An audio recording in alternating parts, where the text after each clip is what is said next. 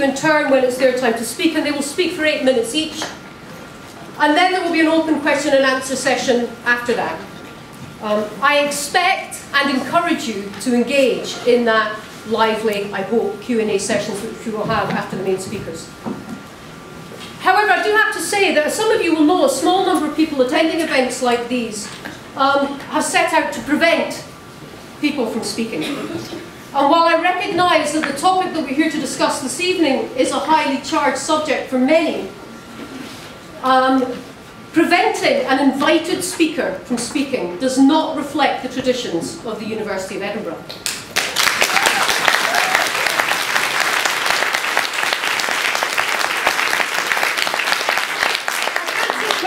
I was given this by the protocol office, but I do believe it. I um, as a university community, we provide a platform for debate and critical discussion around sometimes difficult and contested issues, and we open that platform to people reflecting different viewpoints on these issues. So I will state clearly at the outset that I am not prepared to tolerate any behaviour intended to prevent anyone from speaking. And I will remind you all that the event is being recorded both filmed and audio recorded. Having said that, and sorry to you know, be tough cop at the beginning there, I am looking forward to hearing more about an issue. It's not something I know very much about. And I'm looking forward to hearing from a range of different viewpoints. In the question and answer session, you may wish to challenge points made by our speakers, or indeed you might want to support them. Please do so. All I ask is that you do so in a manner which is respectful to others attending this event. If any of you need to leave the hall for any reason at all during the event and you want to come back in, then that's fine, but make sure you take the ID that you used to get in back out with you or you won't get back in. Okay? Finally, um, I want to say that I'm aware of at least one person participating in this event who's relying on the hearing loop induction system. The system works really well at normal sound volumes, but if, the if there's a high noise level, it can cause distortion and in some cases physical pain. So please be mindful of that when you're making your contributions this evening. Okay, um, our first speaker, I have great pleasure in introducing you to Professor Rosa Freedman. Uh, Rosa is a Professor of Law, Conflict and Global Development at the University of Reading. Uh, Rosa researches on the United Nations and has a number of interests within that area, human rights bodies, creation and implementation of international human rights law, accountability for human rights abuses committed by UN actors, and the intersection between international law and international relations. So, Rosa, please read.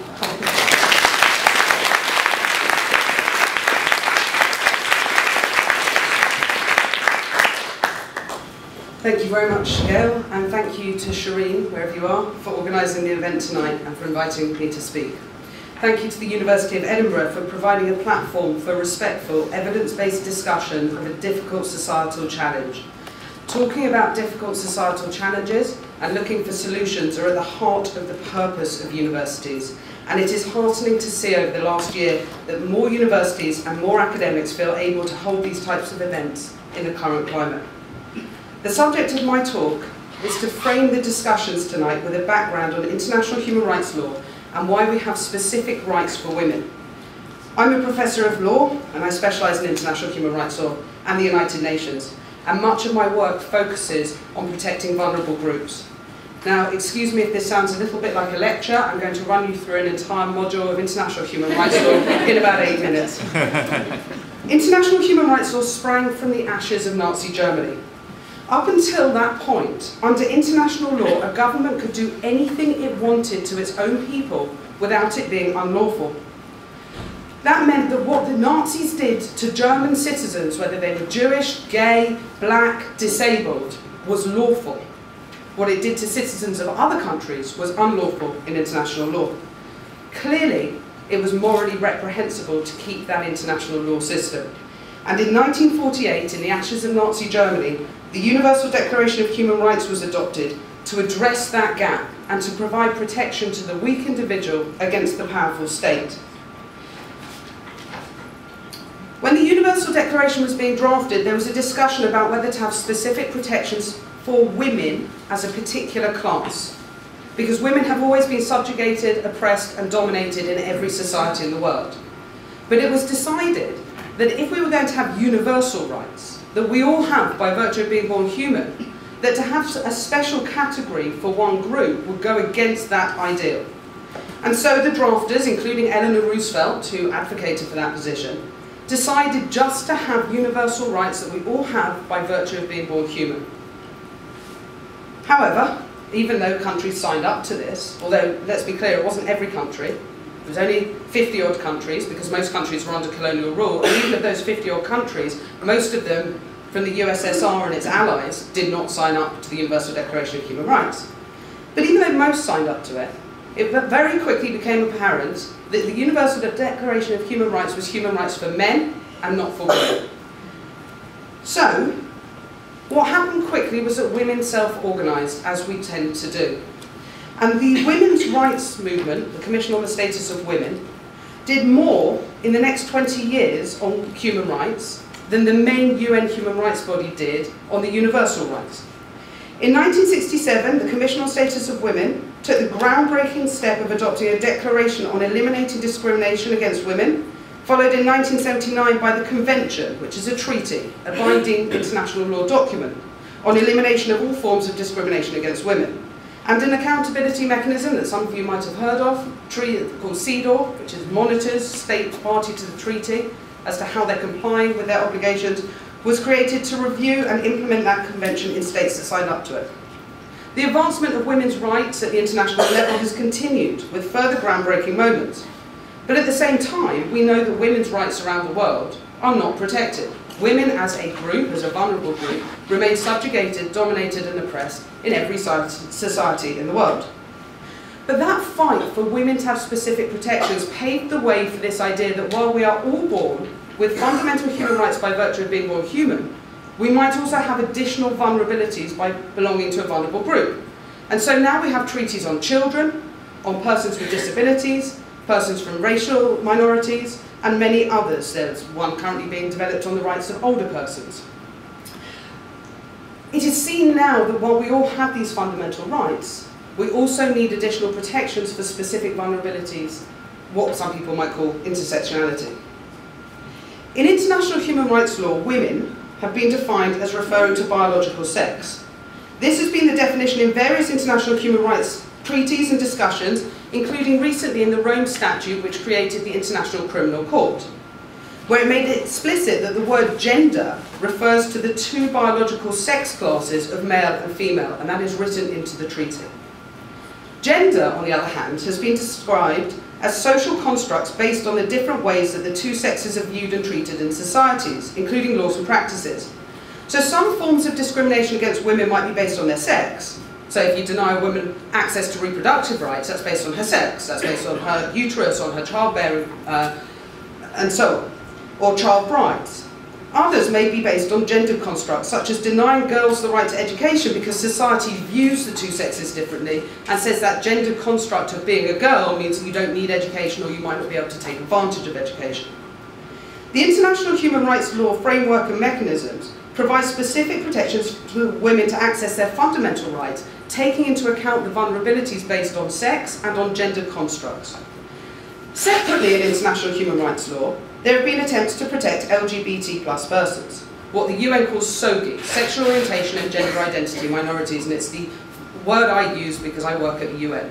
So if I keep saying SOGI, forgive me and I hope you'll all understand what I mean. Those attempts are frequently blocked at the UN by the 77 countries that still criminalise, discriminate against, oppress, condone violence, torture and extrajudicial killings against SOGI minorities. And many of the efforts at the UN level to protect those individuals have failed because 77 of 193 countries want to continue to do that with impunity. At the UK level, there is a somewhat checkered history in terms of transgender individuals and the law. On the one hand, transgender individuals, oh wow, two minutes. On the one hand, transgender individuals have lived free from state violence, on the other hand, they've not been able to access their fundamental rights until the Human Rights Act, followed by the Gender Recognition Act of 2004 in terms of fundamental rights to a private and family life. I'm going to read through this, but I'm going to put this up on the internet if anyone wants to read it in full. Essentially, in UK law, Corbett and Corbett, the case of April Ashley, the famous transsexual who before the days of the internet everyone wanted to talk about because she married some sort of high society guy. It was trying, they were trying to decide whether she could have married a man given that she was born male or whether that marriage should be annulled. And the court said sex is based on biology. It's based on chromosomes and gonads and genitalia.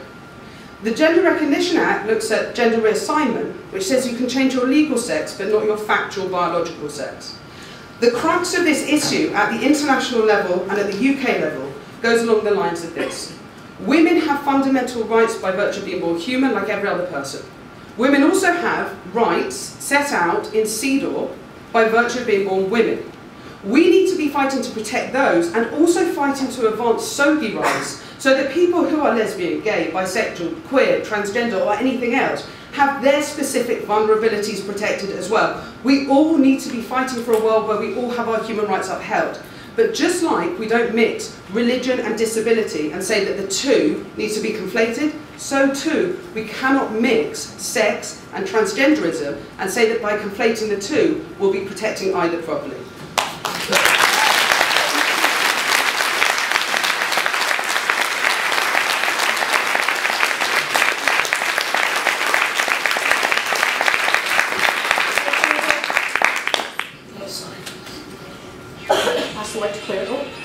Sorry, that's my phone. I like Bruce Springsteen quite a lot, that's why it's that ringtone. Apologies for that. Okay, um, just before I introduce you to Claire, I forgot to say that if you want to tweet about this evening's event, then the hashtag to use is sex-based rights ed, that's ED at the end, with sex and based and rights and ed all capitalised. Okay, sorry, you see, I forgot. Right, um, let me introduce you next to Claire Heuchan. Um, Claire is an award-winning writer who blogs under the name Sister Outrider. I had a look at her blog earlier today and was very impressed. I will be following it now. She writes on subjects including race, power, identity and sexual politics, and her work has been featured in several publications, including 404 Ink's Nasty Women. Claire's author, also the co-author of the book What is Race? Claire, do you have your microphone? Okay, on you go, the time is on. Okay.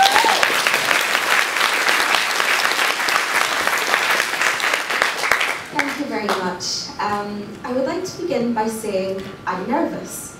I am not brave like Rosa. I don't take any kind of anti-feminist backlash in my stride.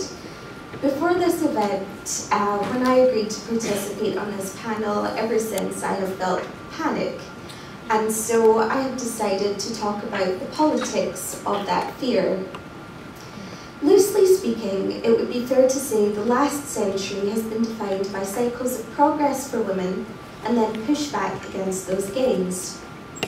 Universal suffrage, women entering public life during both world wars, that met with the feminist backlash, with the anti-feminist backlash of 1950s housewife and homemaker ideal. The feminist writer Susan Faludi has gone into, she wrote this amazing book called Backlash on this subject. If you haven't read it, I highly recommend it. And she says women's gains in formal education, political representation, etc., result in a persistent backlash to any action or talk or even acknowledgement of women's rights. And I think that's a bit of what's happening here. And contextualising resistance to talk of women's sex-based rights as part of that backlash, it doesn't really make it any easier to live through. Women rejecting the label of cis are shamed, women who advocate for our collective sex-based rights are stigmatised and even threatened. It's really scary, and it wouldn't be happening if our rights weren't at risk. Thinking about the politics of protest a lot in this last month, I've realised that as a black lesbian feminist, more often than not, I'm on the side of the protesters than the protested. This invited a spot of reflection. I believe that looking at your values and your beliefs is an essential part of feminist practice. Feminism is my first love. It's given me community, purpose, something to believe in and even to live for. Like many of the women sitting with me, women's liberation is basically my raison d'etre. That being said, I know what it is to be made marginal by white women. In feminist spaces, I have absorbed racist words and deeds. This has devastated me personally, It's also been really isolating as other white women within those groups and spaces would often look the other way or go out of their way to pretend that there wasn't a problem so that nothing had to change. They would rather have held on to their racism and the power it brought them. It was more important to them than building a sisterhood across difference, a sisterhood with the power to dismantle patriarchy brick by brick, which is what we all want. This led me to question my place in the movement, at points asking whether being part of it was even viable in the long term.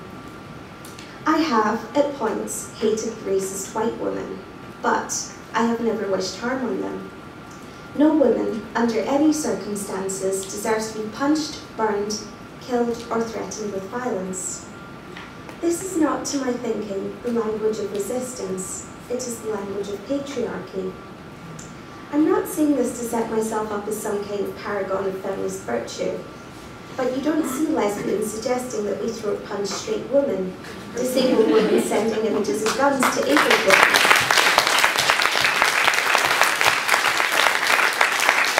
And you don't see women of colour carrying baseball bats at an anti-racist march because they want to beat everyone.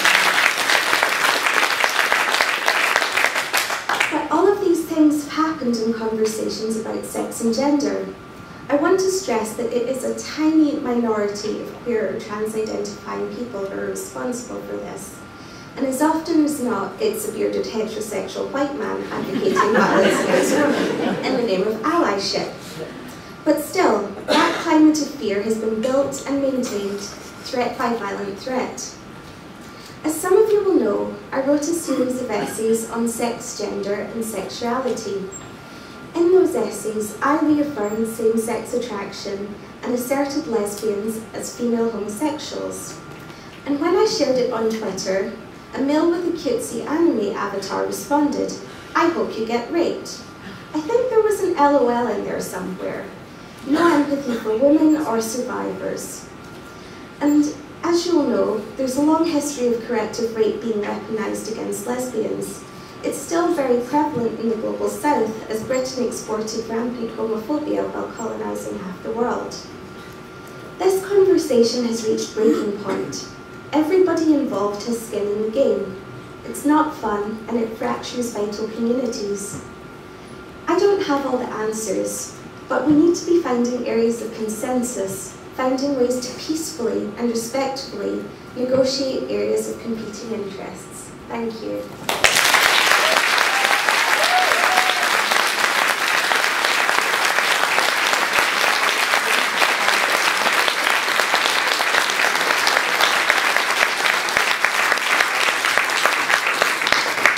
Okay, um, thank you very much, Claire. Um, I have to say, you said you were nervous. You didn't come across nervous at all. That was great. Thank you very much for your contribution.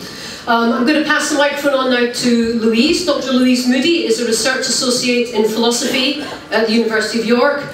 I googled Louise this morning and I found the title of her PhD thesis and I can't even pronounce it, let alone understand it. So we've agreed that I'm going to say that Louise is interested in perception, imagination, consciousness, and epistemology. Is that it?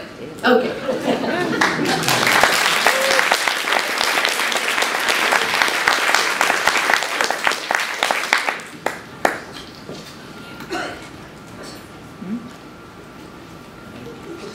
Okay, yeah.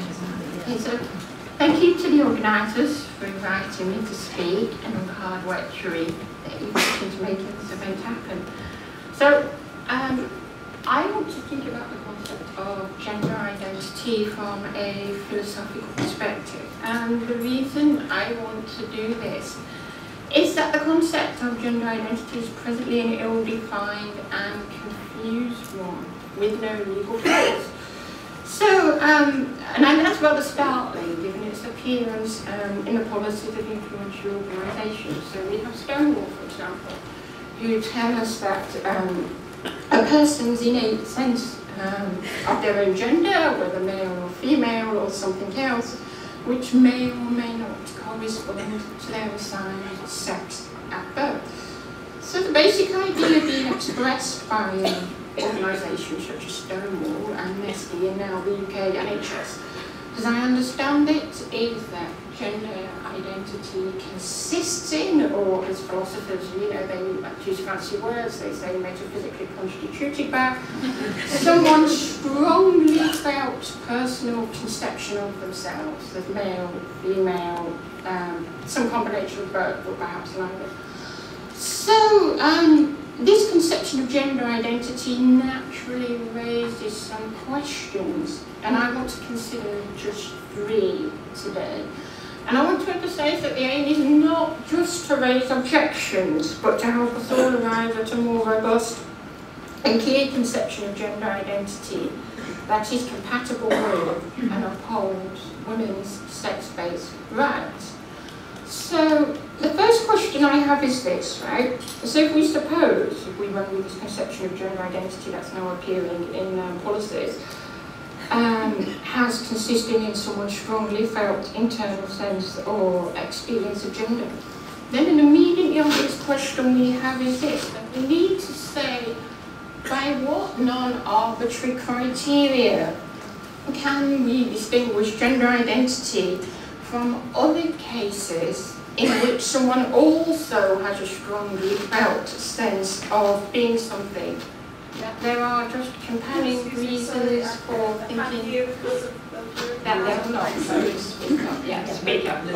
Yeah, yeah, yeah. Okay, so you know you have um, in the literature in um, psychiatry and philosophy, you come across things um, which are called a family of misidentification syndromes. And we all know about the case of Rachel Dolezal, the um, US white woman who claimed to be a black woman with a passion for um, African American rights. And there are even more research cases, right? You have people who actually report a strongly felt conception of things like being dead, or that they have, you know, multiple um, physical and psychological copies of themselves.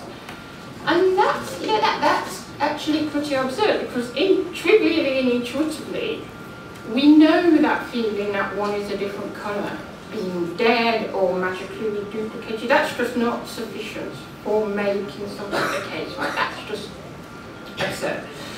But we are told now that um, this subjective conviction about gender identity is increasingly said to be sufficient for making someone male, female, some blend both or neither.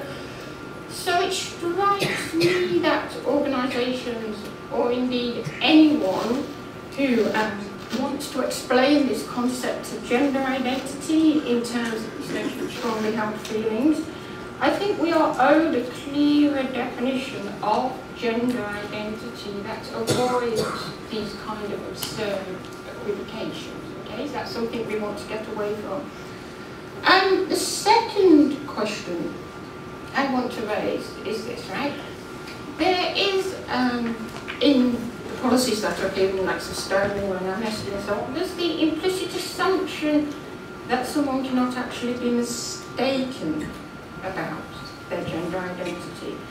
And that's actually quite puzzling because um, in philosophy and um, psychology, it's fairly non-controversial to say that we are often very, very mistaken about the nature of our mental state. Or if we put it quite plainly, we can say, why assume someone cannot be mistaken about their gender identity when we are often mistaken about fairly basic things like beliefs, sensations, and feelings, right? So, if um, an example that my friend was telling me last night, Julia Vedette, she said to me, right, when we think of the phenomenon of referred pain, right, so you have pain in one part of the body that's often experienced elsewhere.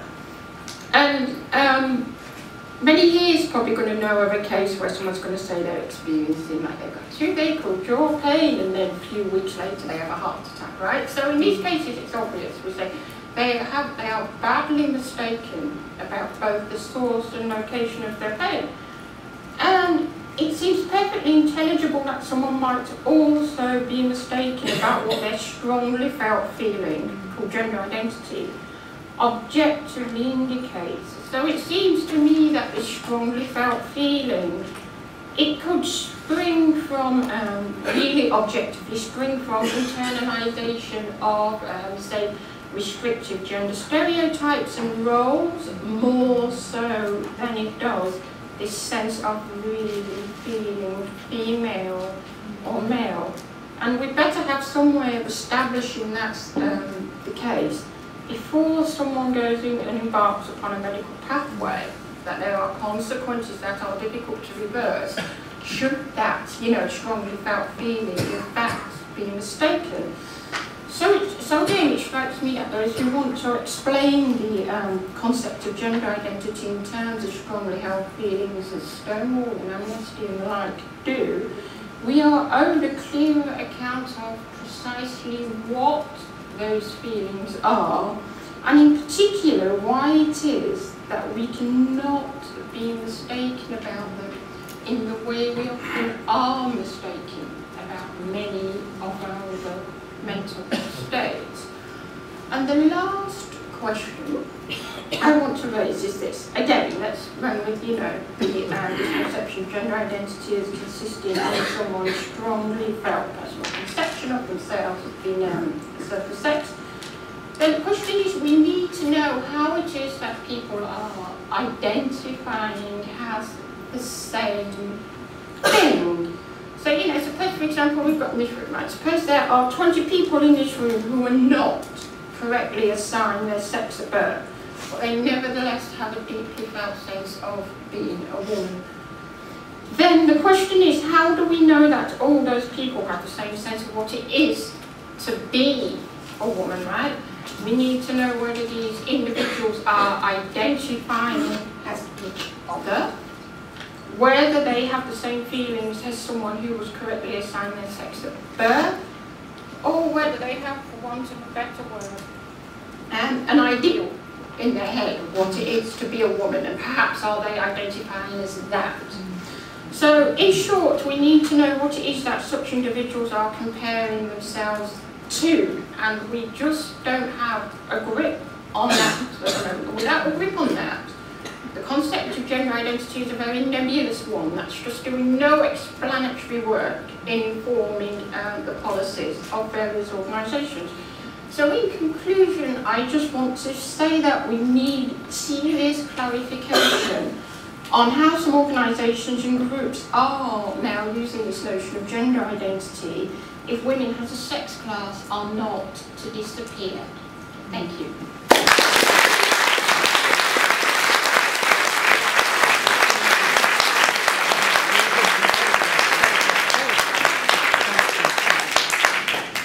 Thanks very much, Louise. Um, as uh, Sarah wrestles with the lapel mic, I'm going to introduce you to our next speaker. That's Professor Sarah Pedersen.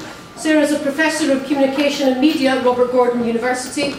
Um, Sarah's research has focused on communication through a variety of forms of media, including newspapers and electronic media such as scholarly journals and blogs, and covers both historical and modern cutting-edge technologies.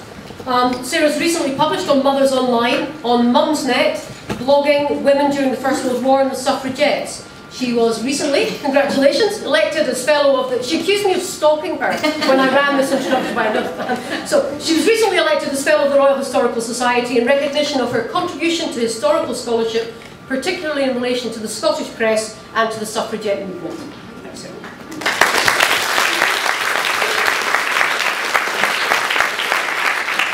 Thank you very much, and thank you very much for everybody who's organised this event today. I want to talk to you about the concept of the bourgeois public sphere in reference to the debate about women's sex-based rights. The term bourgeois public sphere, as I'm sure you all know, was coined by the German philosopher Jürgen Habermas in 1962. he used it to describe a virtual or imaginary community where individuals came together to discuss society's problems and through that discussion to influence political action. Thus, ordered and respectful public opinion became political action through participatory democracy. Such public debate, debate, he argued, initially took place in coffee houses and the nascent mass media. These days, much of it takes place online. Now, Habermas's depiction of the public sphere was of an idyllic, inclusive place where all citizens spoke equally, whatever their class or social status. All members of the public who participated in the public sphere could expect to have their voices heard and their arguments debated. Well, when I say members of the public, of course what I really mean is men, and in particular white middle class men. In the 1990s, feminist scholars such as Nancy Fraser problematized Habermas's concept of the public sphere, suggesting, suggesting that it was not equally open to all, but was instead dominated by powerful white middle-class men. Women, people of colour, those of lower, social status were frequently excluded. Fraser suggested that women who were excluded from the wider public sphere instead formed what she termed subaltern counterpublics, which functioned as both a space of withdrawal and a training ground for agitational activities directed towards the public sphere. She identified, for example, the consciousness-raising groups of the 1970s feminists as one type of subaltern counterpublic. Here, women labour to make the personal, issues related to childcare, equal pay, domestic violence, political or public through such devices. Fraser's criticisms of the idea of a public sphere open to all coincided with a growing disillusion of feminists about the supposed utopia of the internet. It was becoming clear that all were not equal online, and the prejudices formed in the offline world were being continued and even amplified online. So what does all this mean for us today? It is clear that the public sphere is still not an equal opportunity space. Social media such as Twitter may appear to have the potential to act as a public sphere where we can hold government to account and encourage diverse voices.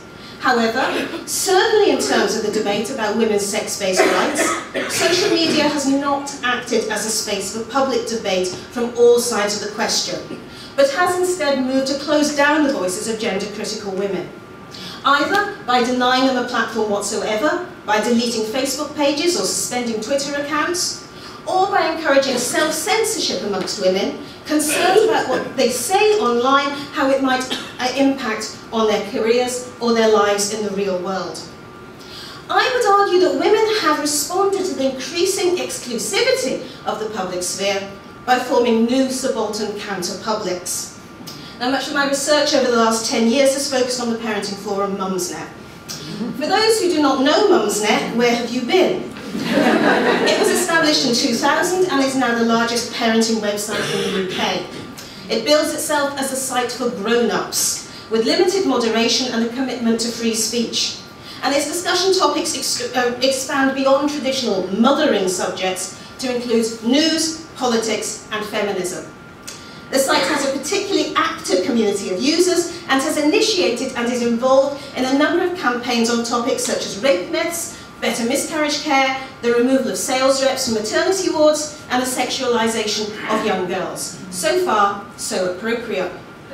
However, Mumsnet has also become notorious or celebrated, choose the word you want, for allowing this discussion of gender-critical feminist ideas on its feminism and women's rights boards.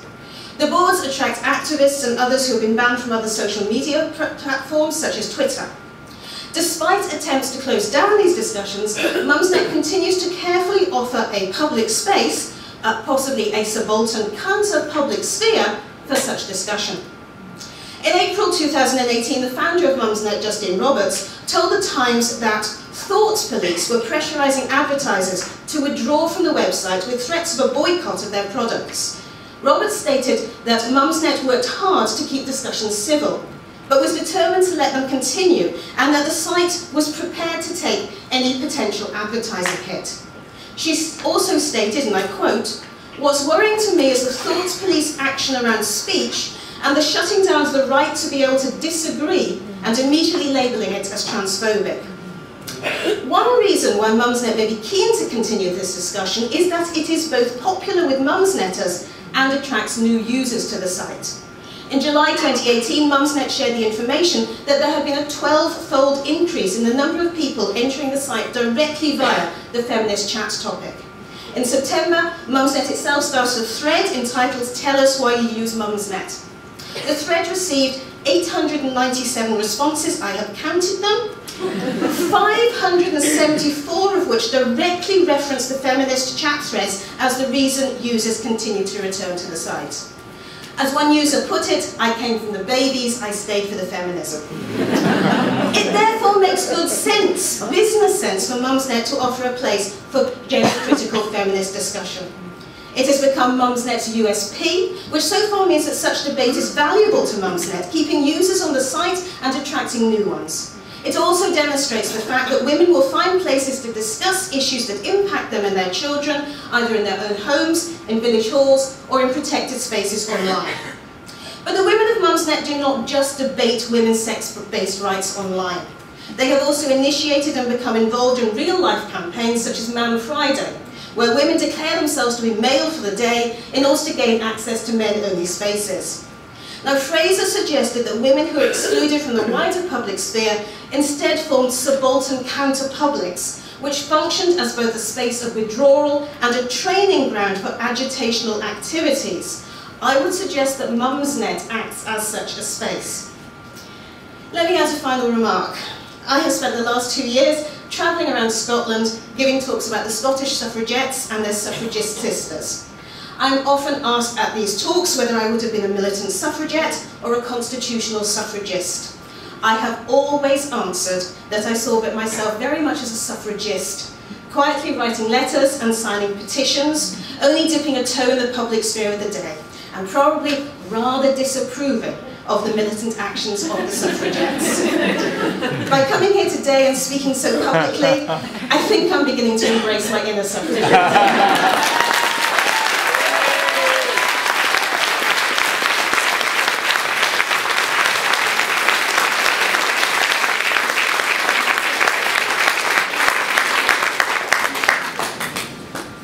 Thank you very much, Sarah. Um, while Lucy gets mic'd up, I will introduce you to Lucy Hunter Blackburn, our fifth speaker this evening. Lucy is a poly policy analyst with Murray Blackburn Mackenzie, but she's also currently an ESRC-funded doctoral student at the University of Edinburgh, the School of Education, and she's a former head of higher education in the Scottish Government. Um, and Mac Murray Blackburn Mackenzie is a policy analysis collective which is based in Edinburgh.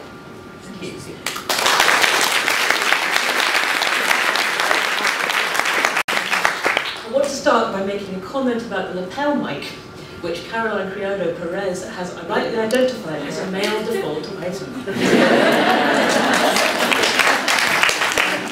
so I also want to say, add my thanks to those of other speakers, to Cherie for having done so much uh, to make this event happen. So I work with Lisa and Kath, who are over there. Do you want to make yourselves known? Um, when I say work, we do all this, of course, entirely unpaid, un unpaid, uh, and in doing so we're like so many other women at the moment.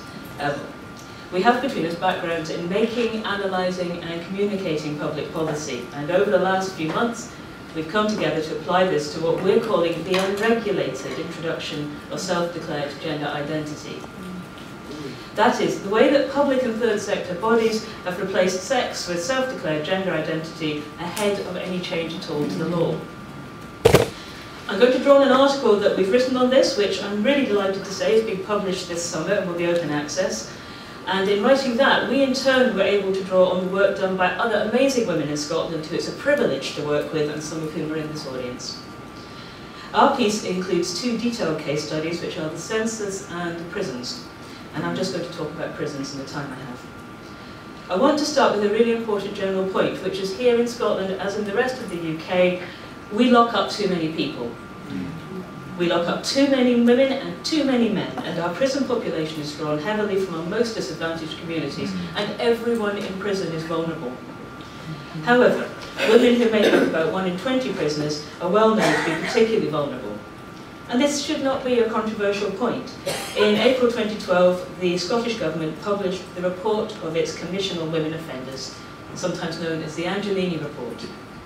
This emphasised that women in prison are much more likely than those in the general population to have serious mental health problems, and, this is a quote, women offenders themselves are often victims of severe and repeated physical and sexual abuse.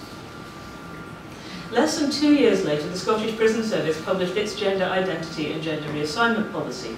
Now, it was right for the prison service to develop such a policy. By then, it was clear that transgender prisoners could be very vulnerable and had specific needs. The problem, emphatically, is not with having a policy for this group, but with the way it was done, how it happened. Specifically, the failure to see the policy as having any possible impact on the female prison population and to assess that impact and to monitor it. The policy is founded on treating people according to their self-declared gender identity, whether or not they have a GRC.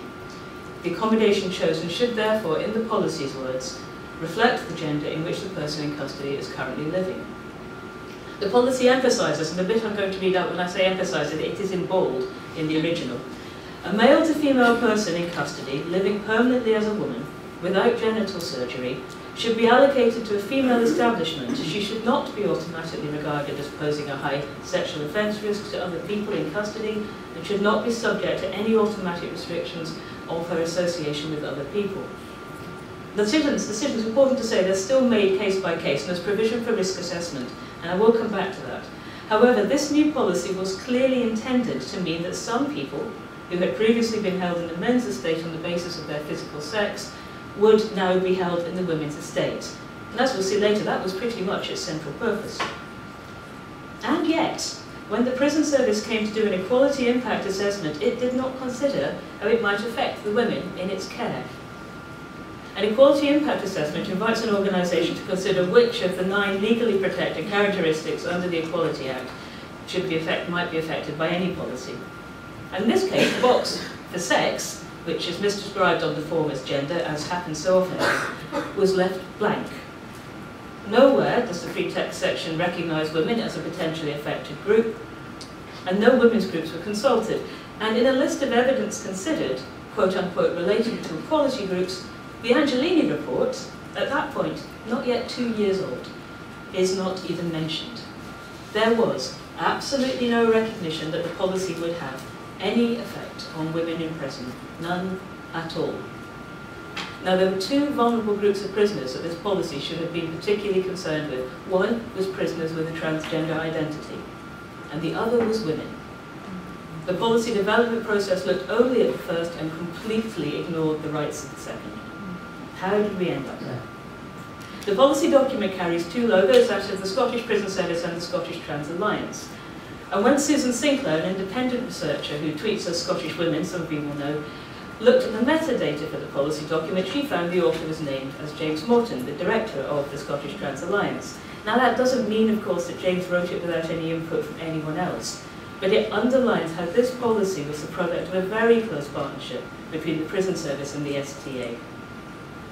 In a book published last year by James Morton, he commented, or published last year, in which he, to which he contributed, James Morton commented, we strategized, repeat that, we strategized that by working intensively with the Scottish Prison Service to support them to include trans women as women on a self-declaration basis, within very challenging circumstances, we would be able to ensure that all other public services should be able to do likewise. James added, the learning from our prison work has made it much easier to assist other Scottish public services, such as NHS wards and schools. In other words, prisons, specifically women's prisons, were targeted as a place to establish a sort of policy bridgehead for self-declaration, from which it could be rolled out more generally. Not as a place cautiously to trial and assess it before taking it further, but just to get it in place before moving on to other providers. No. However this policy had turned out in practice, that process would have been deeply flawed by ignoring the possible women's impacts on women. But as this was a test case, it's reasonable, I think, to ask what happened. Well, we now know from work that was published last week by Women in Girls Scotland that despite the individual risk assessments in every case, this policy has had a negative impact on women in prison. The information comes from a senior, well-verified source in the prison service, a whistleblower. And why should it take a whistleblower to learn this? in effect.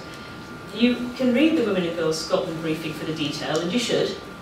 But a critical point the source makes is, not, is that this is not just about individual incidents of sexual and physical aggression that have happened, but about the psychological effect on women prisoners already traumatised, remember, by male violence, of having to share their day-to-day -day intimate accommodation with people who, for their appearance as well as their behaviour, women can clearly recognise as male. Now, just as the STA strategised, many other organisations have been persuaded to replace sex with self-declared identity, and as with prisons, this has happened without consultation with the women affected or their representatives, and no or at best desultory formal assessment of impacts on women or girls. And often these policies are grounded in assertions about the law that are simply wrong. Now, in the longer piece we've written, Kath, Lisa and I argue that this is a clear example of the capture of the policy process by one set of interests to the exclusion of others. And as such, it represents a serious failure on the part of the public bodies concerned. It raises questions, of course, about the specific vulnerabilities of women's rights, but it also reveals a more general vulnerability of our institutions to single-minded, ideologically driven lobbying. And those who can't bring themselves to care about the rights of women hmm. might, I think, at least try to care about that. Thank you.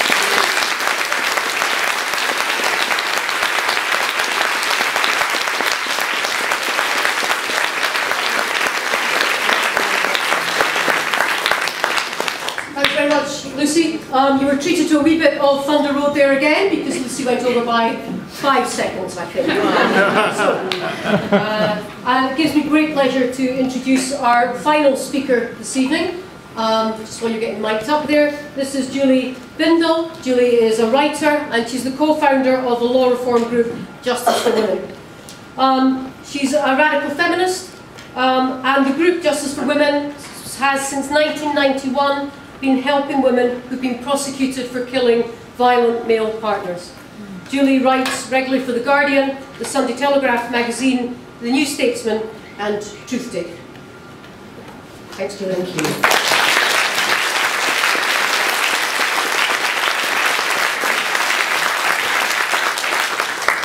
Thank you, and thank you for the invitation. I'm really thrilled and delighted to be here and with all of you, and of course our esteemed speakers. And tonight I just want to speak about the pandemic of male violence towards women and girls and the feminist resistance to it. Now, I first became a feminist at the very end of 1979, and it always sounds much better that I was a feminist in the 70s, but I had about six weeks. and it soon became apparent as if I needed any further evidence, having seen it growing up in the northeast of England in a very poor community where police didn't care about anything to do with women and girls. It didn't take long to learn that this is a global issue, and of course, once feminism became globalized, then stories from countries in the global south and elsewhere in the north came thick and fast. And once feminists started working together across nations, across corners of the globe, we realised that no city, village, town, country, region, nation in the world is free of the fear and reality of male violence.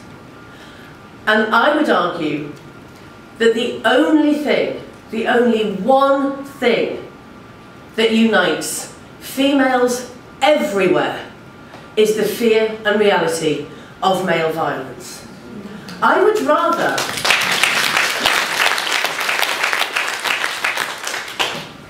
not be a woman. I'd rather just be a human being. I have absolutely no idea what it feels like to be a woman, but growing up as a girl, I understood what it feels like to be female and what it feels like to be one of the oppressed class unless we recognise that females are a sex class and that that means that males are the oppressor sex class, then we cannot possibly understand when we say male violence. What on earth does that mean? Because of course, as you know, men are violated, usually by other men, not always. All people are vulnerable to violence, but there's something very specific about male violence towards women and girls, which is why we are feminists. Now we can be feminists because we are concerned about equal pay, about maternity leave, about all kinds of issues that affect only the females on this planet. But as I say, they don't really bond us particularly. For example, I don't have children, and I've never wanted children. I'm a lesbian, so I can listen to women telling their stories about rubbish heterosexual relationships. there are a lot of stories. but we don't have that in common. Now, I'm very privileged to be able to travel a lot with my work as a journalist and a campaigner. And when I go to countries where you would expect things to be far better for women, for example, Norway, um, Australia, you find the most abhorrent things happening to girls. Of course, you find Indigenous women in Canada, one of the wokest nations on earth, where across Canada, so far, today, there are an estimated 4,000 missing women and girls, all from Indigenous communities, mostly who were prostituted. Now, prostitution doesn't happen because there are some people on the planet, men, who need more sex than others, women. That's an absolute nonsense. Prostitution would be starved of oxygen if we didn't have patriarchy, if there was no such thing as male supremacy, if men weren't the oppressor class, because we wouldn't have a situation where one group of people thought it was okay to buy their way into the, the, the inside of another person's body for one-sided consensual sexual uh, pleasure. You just wouldn't. So when I go to countries such as New Zealand, supposedly a great bastion of feminist campaigning and liberation for women, you find an endemic sex trade where women are bought and sold, trafficked, abused, pimped, raped. Of course, in England, I just hear horror stories the whole time. And I also hear resistance to it, and I'm a tiny part of that resistance. We hear about rapists like John Worboys, the black cab rapist. Did you hear about him? Where police said, don't go in a minicab, girls, when you've been drinking.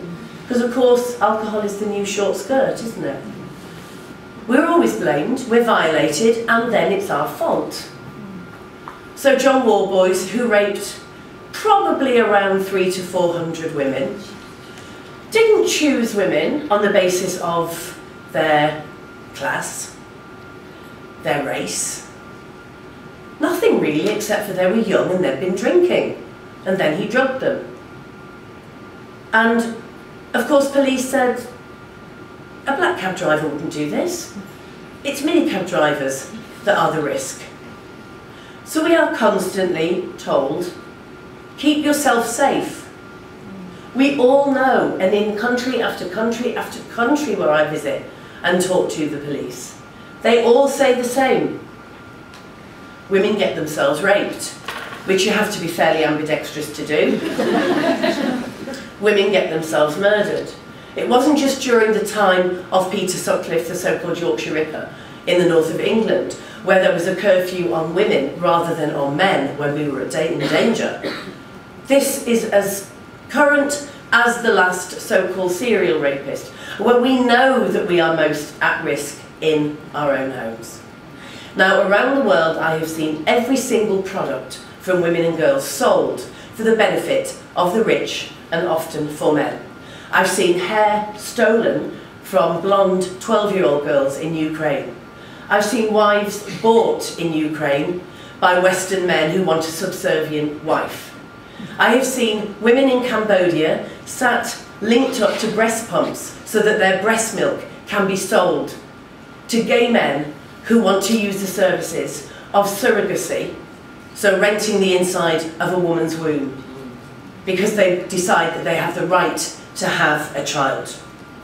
And as I said, talking about male violence without a clear understanding of females as an oppressed sex class is meaningless. This is why we have to keep saying it. This is why we are a global feminist movement. And this is why we have to continue to talk about women as a sex class until we've got all of this sorted out. Thank you.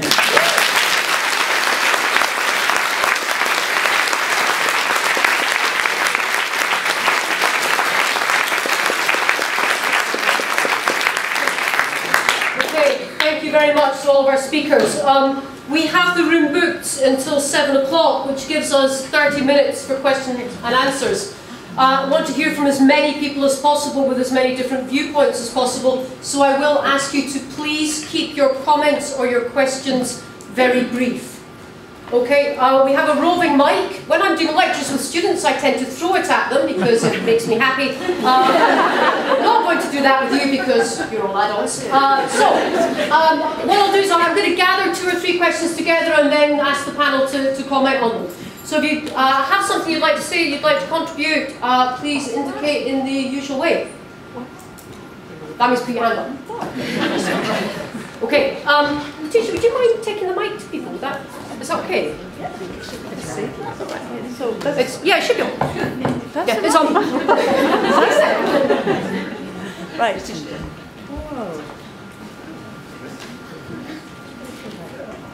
Hi. Um, I just want to ask what the panel thinks um, about, in Scotland we have had so-called uh, feminist organisations that um, allegedly represent us, like Engender, um, Scottish Women's Aid, Scottish Rape Crisis, uh, completely uncritically adopting the idea that trans women are women and therefore um, they don't need to implement any of the exemptions al allowed to them under current law. And I just think that, like, how on earth did this happen? Hearing about the prison, uh, strategically um, uh, going for prisons and uh, the, the, the definitions used there, that's useful. But I, I just cannot wrap my head around why there's so little resistance from the organisations that are purporting to represent women in Scotland.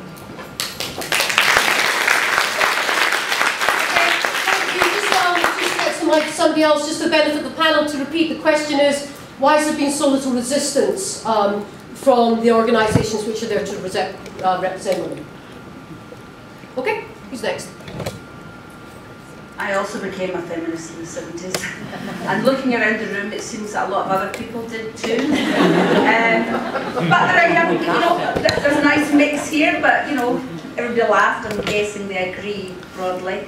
Um, my perception is that this debate and this discussion that we're having in here um, is doesn't have the uh, participation of as many young people as I think it might have had had we been having this discussion in the 70s. Um, I might be wrong, but there are some people nodding. I feel that we need to capture the enthusiasm and the imagination and the commitment of younger feminists or younger women who don't know that they need to be feminists. I'd be really interested in your views on how we can do that. Thanks, Letitia. I think somebody down here would like to talk. Um, with the stripy shirt on. Yep. Hi. Um, so excuse me if this is an obvious question to you. Sorry, Um, can you speak a little I'm louder? sorry. Ex- excuse me if this is an obvious question to you, um, but I was just wondering. Um, obviously, we've had a lot of very in-depth discussion of, uh, you know, deep philosophical theory and uh, deep policy. But I was wondering if um, any of you would be willing to make more explicit what tangible harms uh, will come to women uh, if trans people and trans women in particular are allowed to transition and participate fully in public life as women. Thank you. Okay, thanks very much. So I'm going to take questions in groups of three. Thank you very much to people asking the questions for keeping them brief as we asked. I'm just going to repeat them briefly. Um, so why has there been less, not as much opposition to this as we might have expected? How do we engage young people with this conversation? There are three of them up there from Leith Academy. Wave, ladies. Um, and, and would the panels, everybody in the panel want to comment on, on what they think some of the more um, tangible risks to women might be um, from um, trans women or women movement? I am going to pass this along, probably easiest, isn't it? Rosa, do you want to start us off? Thank you. To the is it on? To the to the question on um, sort of the Equality Act and, and why there's not been more resistance. I think a lot of us have been asleep actually. Um, I think that we, we as feminists want to look after the most vulnerable minorities in, in our midst. And over the last 10 years, um, since the Equality Act, um, there's been a big conflation of sex and gender, or the removal of the word sex and changing it to gender, by organisations like Stonewall, the Trans Equality Legal Initiative, um, the, the organisations that you mentioned, and with a lot of pressure on NHS, on schools, other publicly funded bodies that have been absolutely slashed in terms of their money by the Tory government. And so they've offered free advice and taken out the word sex and replaced it with gender, and they've got the Equality Act wrong. And the law very clearly says that even if someone has a gender recognition certificate, they can be excluded from sex segregated uh, spaces where it is proportionate and legitimate to do so. And I think what we've seen over the last year more than a year for many of you in this room, but over the last year, it's women coming together and saying it's enough, and we want to go back to what the law actually says and make the law be implemented in practice. Um, the second question I'm not going to go to, but um, the third question about the uh, tangible harms. For me, it's really important that we protect vulnerable groups with the needs of their specific, their specific vulnerable needs right? Whether they're children, whether they're older persons, whether they're migrants, whether they're women, whether they're LGBT persons or SOGI persons. I don't believe that it's right for women or for religious minorities or migrants or LGBT persons or any other vulnerable group to conflate them all. Mm. I think we need a very serious and reasonable and frank conversation about how we can protect gender identity minorities, what gender identity means in law and how we can protect those minorities while also protecting sex-segregated spaces and women's rights. And the only way to have those conversations is to sit in these rooms. And I can't answer it in five seconds to you, but I would really appreciate sitting down and talking with you at some point about this, because this isn't just a conversation at this level, it's a conversation going on at the global level. And I think everyone in this room, I would hope, firmly believes that what we don't want to do is oppress any minority. So we should be coming together as feminists and care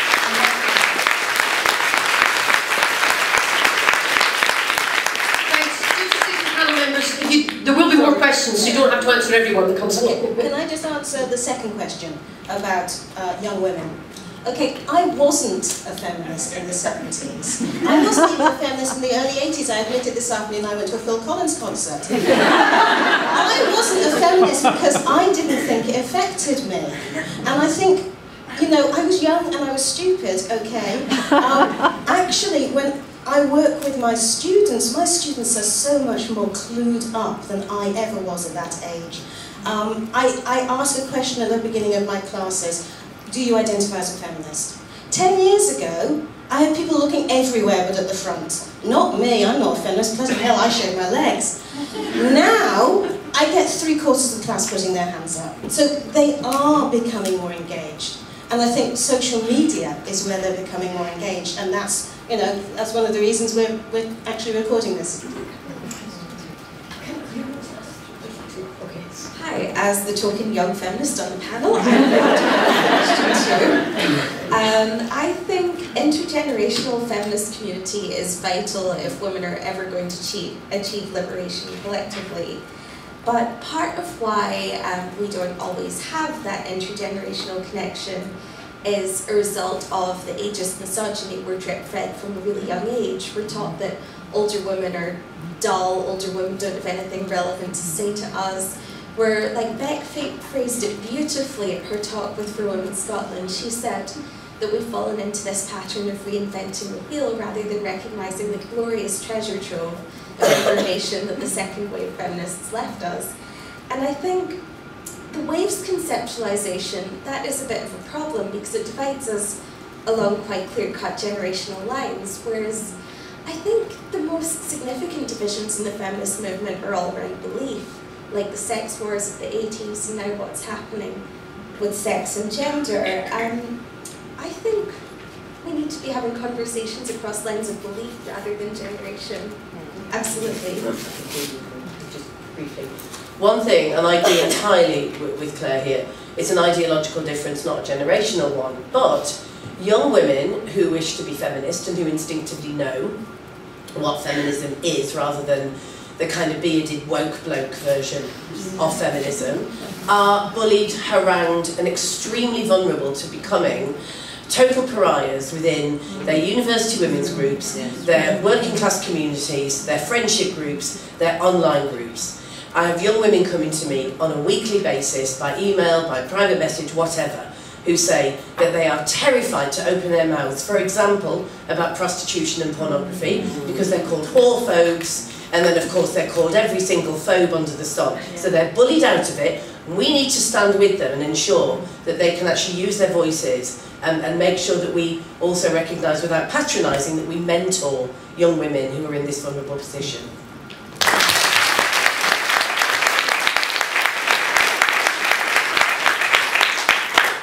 So with, with great care, I tread into the area of the Scottish women's organisations and what, what say. I, I don't, you'll have to ask them how they have got to where they are and why.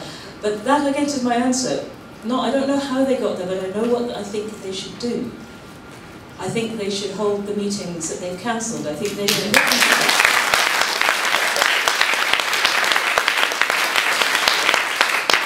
use their extensive amounts of public money, particularly the organisations who are not service providers. They, I, I feel differently about those uh, dealing with violence against women's services. Their, their funding has a very urgent need for their people they deal with. But for Engender, which is an advocacy group, they need to be braver. They need to come and talk to people who disagree with them. It's doing them no favours, and it's doing this debate no favours. So that's, that's my comment there. Um, I also want to address the point about harms because I think it's a really important point and it comes up with prisons. And I think prisons is a really good example of how we could do this much better. So for example, you, you might not know, but the majority of trans prisoners are held, in fact, according to stats, according to their birth sex. And there's two reasons for that. Some of them don't ask for a move, and some of them um, are refused to move on risk assessment grounds. And the policy's not great for them at the moment because it's all framed around them being moved, that's its predication. So what we need is a much better policy. Don't ask me what I think the policy should be, but I think we should talk deeply to the women who've been in prison. I don't want to assume there is no scope for moving any trans prisoners into the women's estate. Let's listen to the women who've been through it and the people who've worked with them, all those people about, about what they think. And let's think really hard about what we do with those trans prisoners who can't transfer. And there will always be some. Most of the female-born sort of ones identify as men are held in the female estate, and the policy says in terms that um, they particularly are allowed to say, I'm a bit scared, I don't want to be in the male, estate. We need to be nuanced, we need to be complex. The prison system is very binary. We need a whole different discussion. That policy is not a great starting point. Um, and I think that's how I want to come to every policy. We need to be pragmatic, need to be thoughtful, we need to listen, we need to be contextualised. We need to keep in mind sex-based rights and sex-based issues. But on top of that, we could be so much cleverer, and I think public authorities have let down trans people really badly here, because I think they have been lazy, I think they have been cheapskate often, and they haven't given this the attention the depth it deserved as an issue. That's one.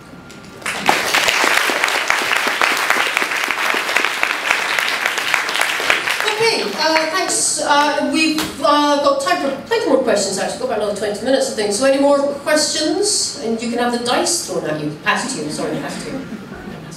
Um, and after that, uh, yeah, I see.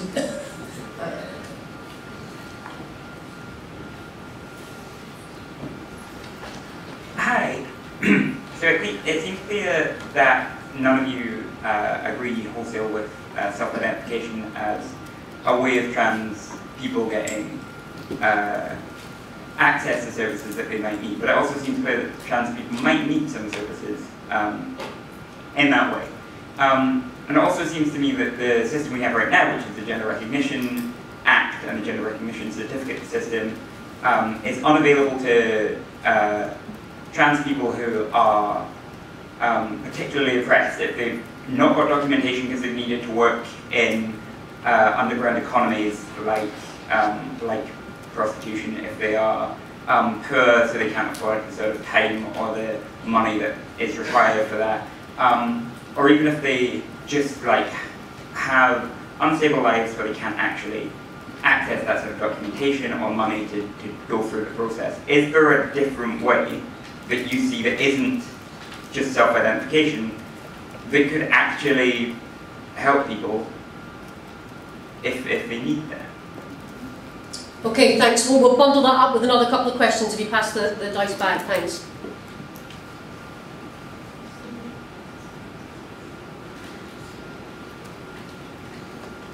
Uh, hi, it's not really a question, it's just a quick statement just to say to anybody that's here from the, the demonstration outside that I hope that you can see from the, the people that have spoken uh, in this panel tonight that there's no hatred at all coming from anybody in this room that are, are speaking on this issue. And I really wish that people would stop trying to, to label us as fascists. You need, to, you need to stop doing that. That's a really destructive thing to do.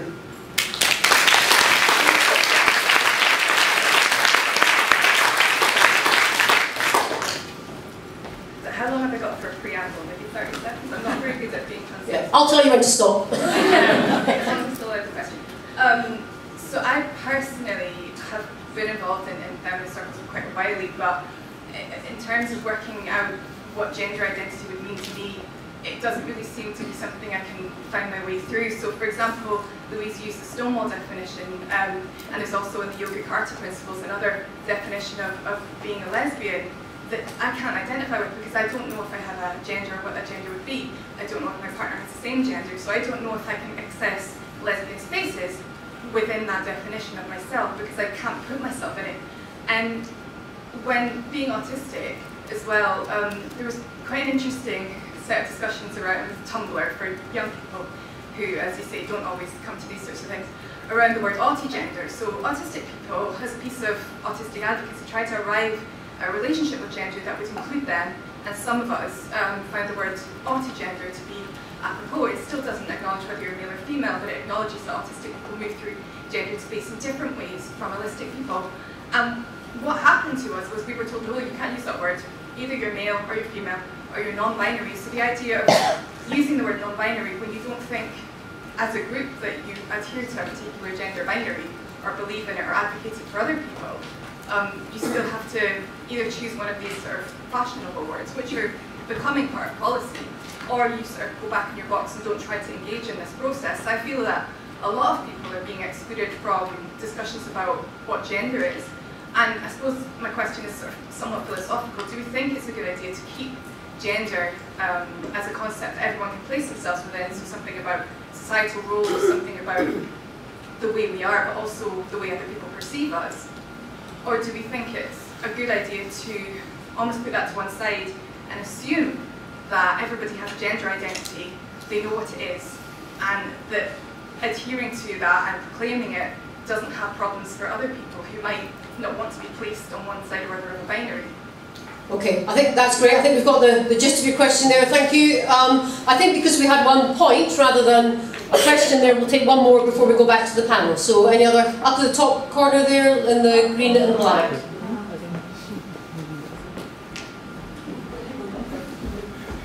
I'll ask the panel to be reasonably brief in the responses as well, because I know there's clearly people who want to ask questions, so we'll try and get to everybody if we can.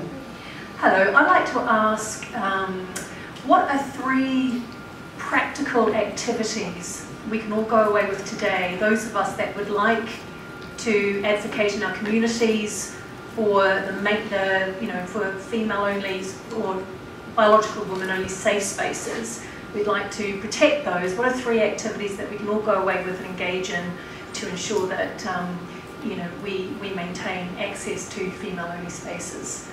Thank you. Great, thank you. And um, model kind of question, very clear, very discreet, very brief. Well done. Like those. Okay, uh, so the questions panel are self-identification. Does it, it seems to be problematic? Is there something else that we can do? Um, is it a good idea to keep the whole idea of gender anyway? And three practical things that people can go away with. Who'd like to start? Could just use this one, I think, and then Rosa. Okay, I will start with the three practical activities. One, you can join for Women Scotland. They have members of the team all through the room. I'm sure they will come and speak to you. Two, speak to your friends, speak to your neighbours, speak to your community. Talk to them about how this issue affects you and other women. Third, there are also some MSPs in this room. Write to them as well. Take political action. Um, Scotland is pretty fantastic that way because you have representation at every level. There are multiple people you'll be able to contact and influence in that way. Participate in democracy.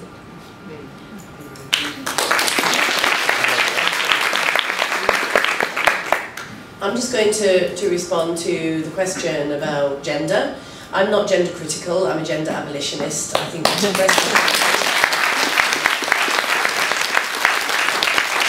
is based on sex stereotypes that are deeply harmful to women and girls, so I'd like to see the back of it.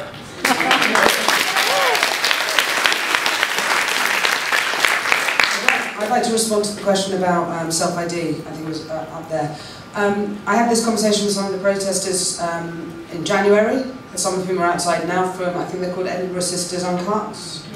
Okay, and, and we were having this conversation. I'm not a Tory, and I'm sorry if you are a Tory. I'm sorry for you, and I'm sorry for the country.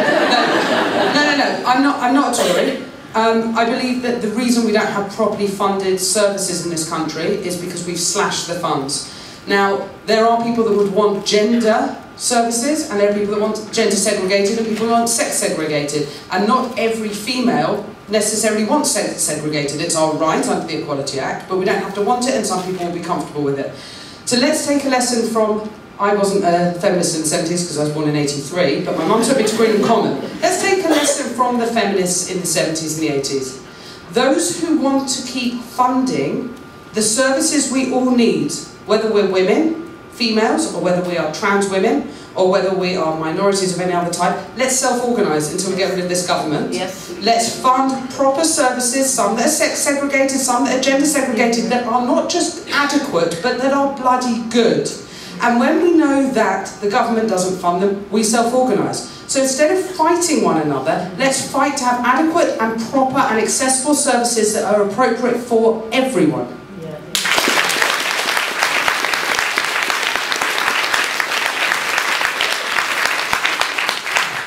I really want to pick because I'm so glad you asked the question about what's the other debate we could be having about improving things. And one of the things that I thought was really disappointing about the consultation paper the Scottish Government put out was it, it laid out a series of issues. It didn't really develop, describe what the nature of the problems was, and then it jumped straight to self-ID as the only answer to everything. And I'm, I'm, I'm with Rosa, we could be so much more creative about how we use our services and our spaces, um, we could argue for funding, but above all we need to be talking, and it comes back to the question that very helpfully came from the front. We need to be talking in detail about specific contexts, specific issues and specific problems. If we have long waiting times, and we have ridiculously long waiting times for mental health um, service access for young people um, under the CAMHS system, we have long waiting times um, for the, the Sandyford Clinic in Glasgow for gender identity services, we need to be asking, how do we take people out of deep distress who are on these kind of waiting lists? And again, it's a funding point, it's a priorities point. So I think there's a conversation um, that is so much more productive potentially about how we address very specific issues and problems that people have um, which would not be setting people against each other. The public sector equality duty is perhaps at the moment the most abandoned public duty on the statute book. The public sector equality duty requires public bodies to facilitate good relations between people with different protected characteristics. And all I see is public bodies doing the exact opposite.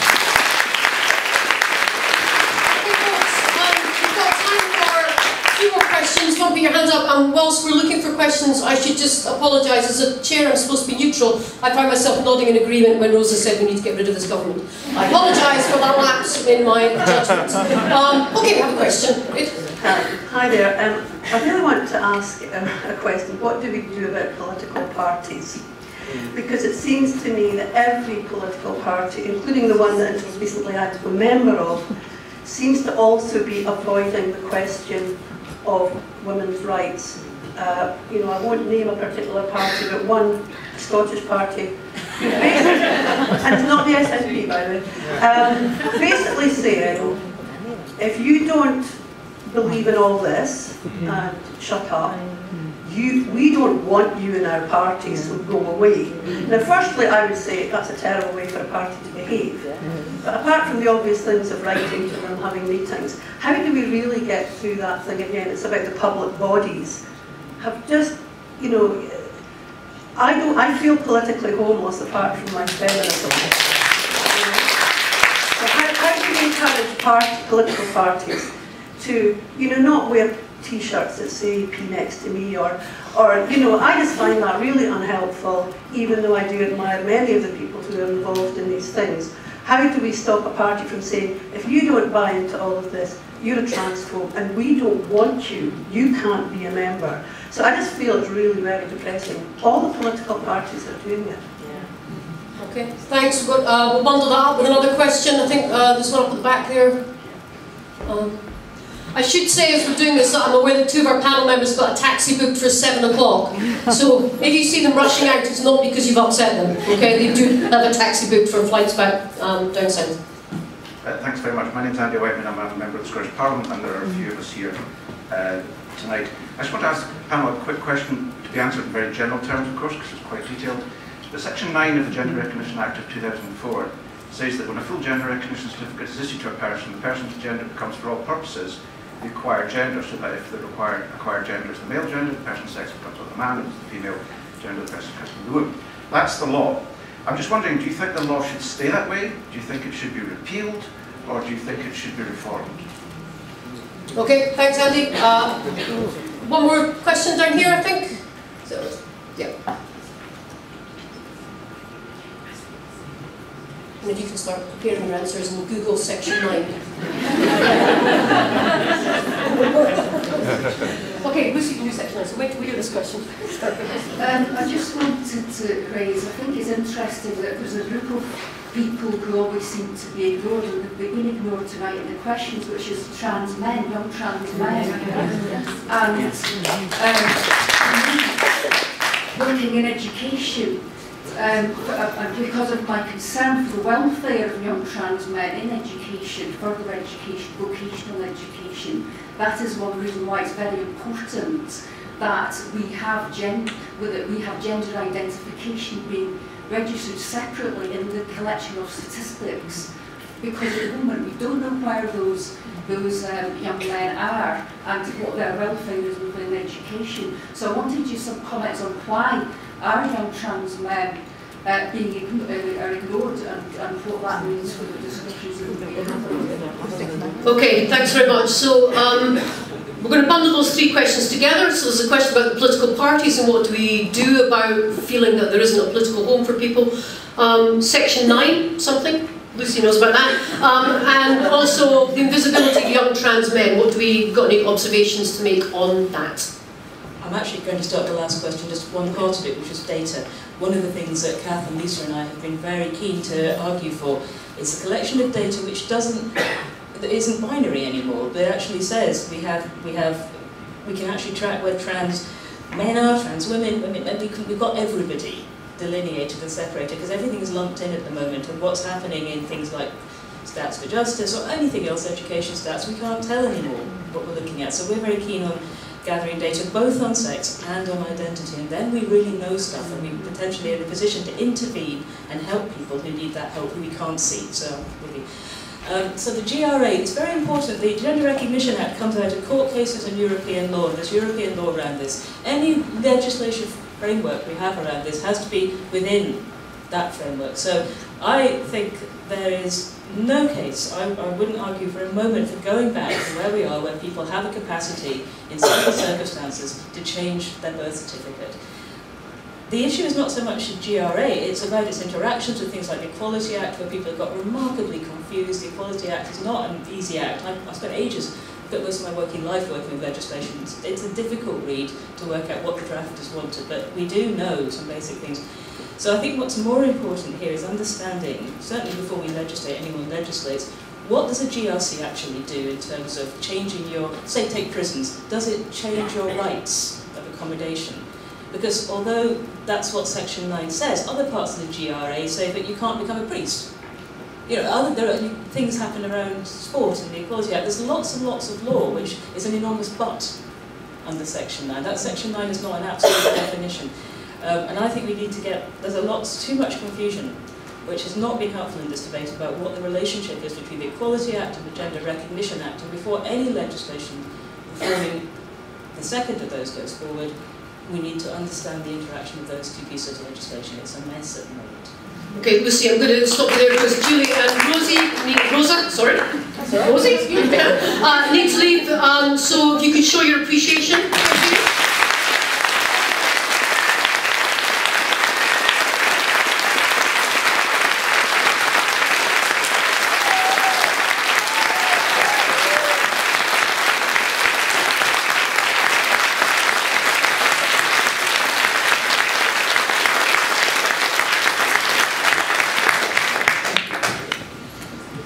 That's great. Does anybody remember the questions?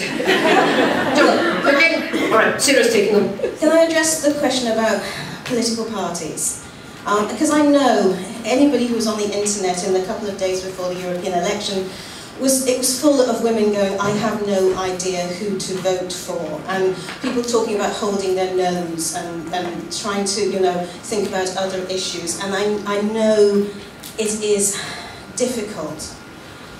But I also think, and God, I sound like a suffragist here now, um, it is writing letters. It is signing petitions. It is coming to meetings. And I'm, I'm really, really grateful for the MSPs who have come here tonight. And it, it is going to meetings and asking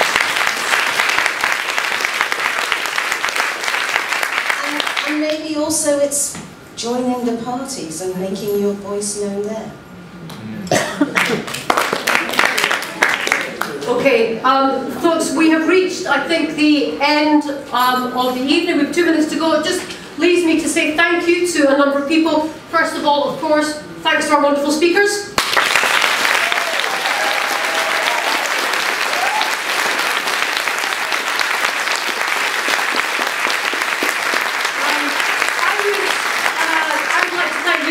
I think this debate has been conducted in a very respectful way, and I thank you for that.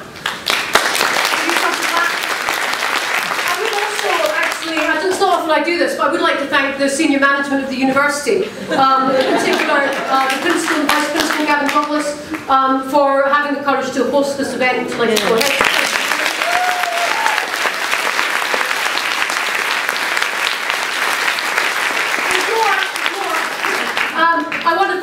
um, James Broomfield and the security team for their support. Um, the protocol office who um, helped us with the invitations and checking ID when we came in. The press office and the um, administrative team in the Institute of Education, Teaching and Leadership in the School of Education.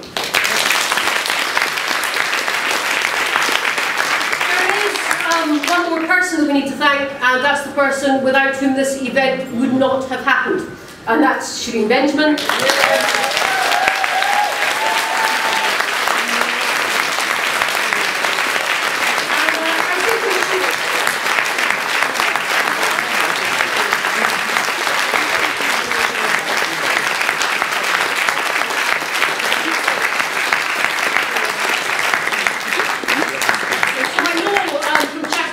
down School of Education, uh, what an interesting few weeks she has had.